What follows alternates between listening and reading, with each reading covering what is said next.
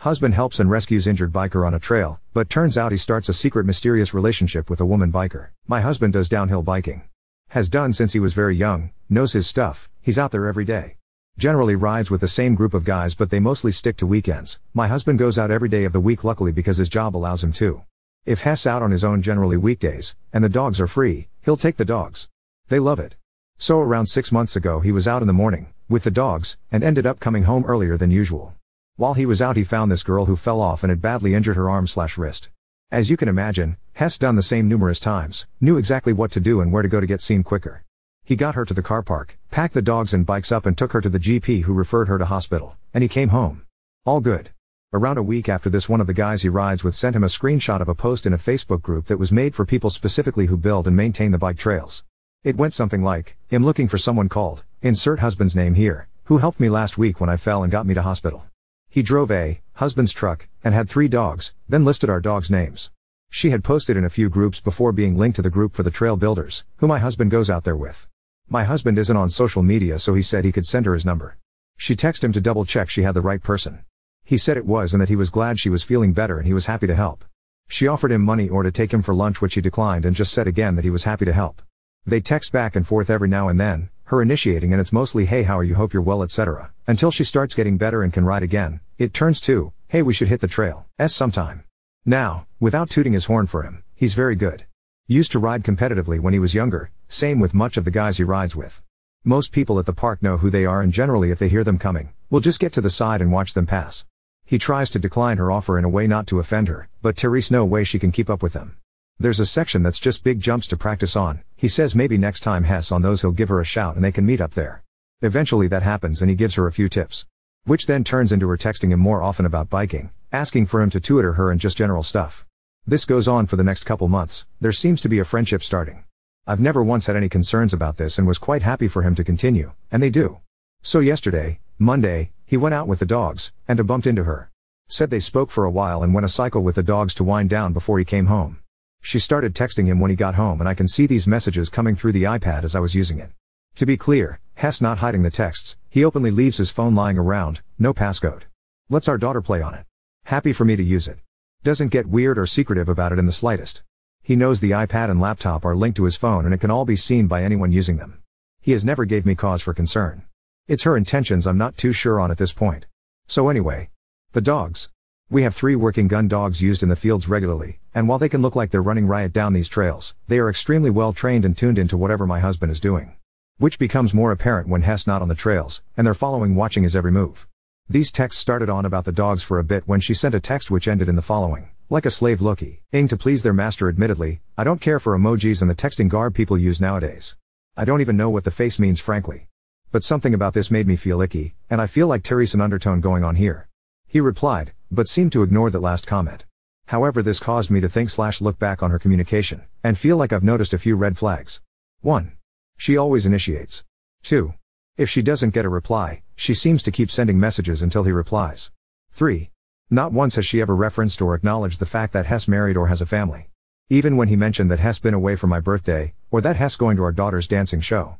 She'll change the subject as if she's pretending we don't exist, or to close down any mention of us. 4. She often makes excuses for them to meet up. One on one.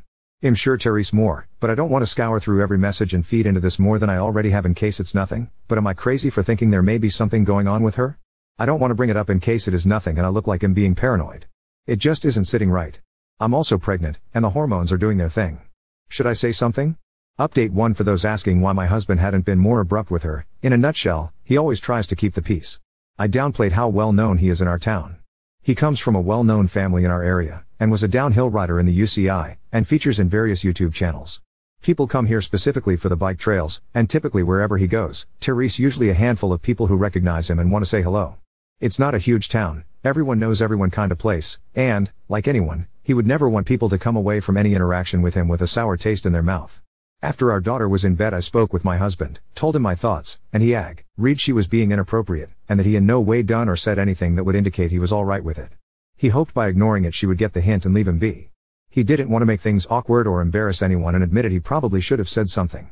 So after reading everyone's comments, there were loads of amazing ways people suggested shutting her down, which in hindsight, would have been an amazing way to stop her in her tracks.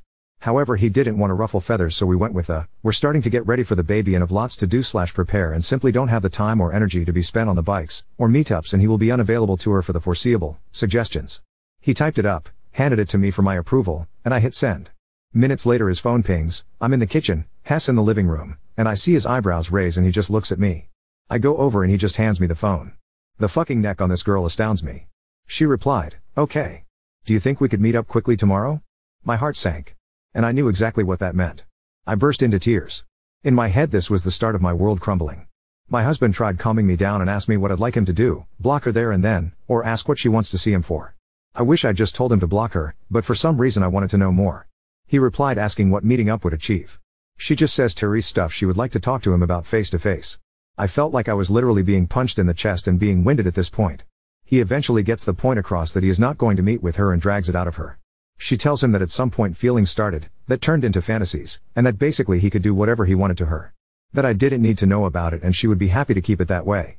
As she put it our thing at was more graphic than I'm willing to type. I felt like I was still keeping a level head on it until this point I lashed out got very, very angry. Started crying uncontrollably. My body was vibrating with anger. I've barely slept. Woke up crying. Felt like absolute shit all day today. I've already got in touch with our friends who run these Facebook groups she joined and asked them to remove her and make sure she doesn't join again. My husband replied last night and told me it's sorted and I don't have to worry about her. I didn't see the text he sent but it's there on the iPad, but I can't bring myself to even open the message app after seeing what I saw. It's not fair that someone thinks they can just do something like that regardless of how it's going to impact an entire family. Currently, I don't want him leaving the house. I don't want him to ever go back to the trails. I don't want the dogs even going up there. The fact she has even touched my dogs makes me sick. So there we are. I still feel like my life's slipping away from me. Like someone's trying to steal it. My confidence is shattered. My eyes sting. My head hurts from crying. Don't feel like eating. Don't think I've ever felt as low as I do just now. Husband's trying his best to comfort me, but it will take a while I guess. He feels very guilty, despite me telling him he's done nothing wrong. I can't believe how quickly my life just changed with a stupid text. So, thank you to everyone telling me to believe my gut. And everyone else who took the time to comment. Edit, I just want to add, I'm not controlling my husband. I'm not holding him hostage. He had to take them out today. The bike park is almost in our back garden.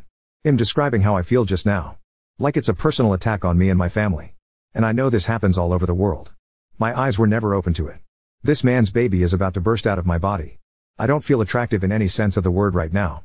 I feel I'm well within my rights to be a little distraught after seeing a text from a much younger, much fitter girl describing in graphic detail the things she wants my husband to do to her. Update 3 So I had so many people telling me I'm crazy, overreacting, need therapy etc. I get it, I probably was overreacting, but also feel like some people just don't understand the places your head can go when you're heavily pregnant.